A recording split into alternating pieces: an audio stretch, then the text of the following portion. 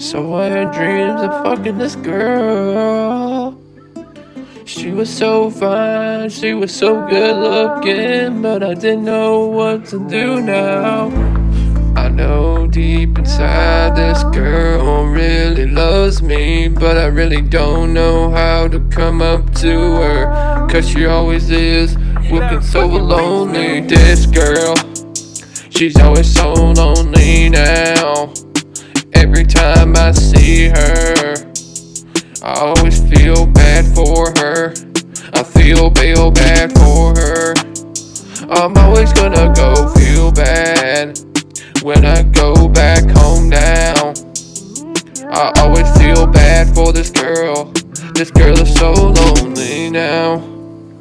This girl's so lonely now. Deep down inside, she needs me now. She wants me right now, with her right now. I can't wait to be with this girl now, cause she is always so lonely right now. I know that this girl feels so lonely right now. When I can't stand this no more, I just need to hook up with her right now. I'm going, I'm going up to her. I'm asking her if she's lonely. She says I'm so lonely.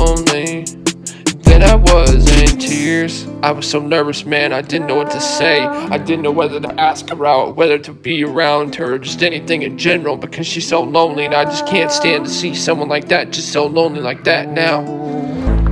But I ended up thinking through my head, I have to be a man in my life now, right now. I can't wait to ask this girl out. Now's the time. Now's the time. The time to ask her out now. I walked up to her now. Asked her out right there.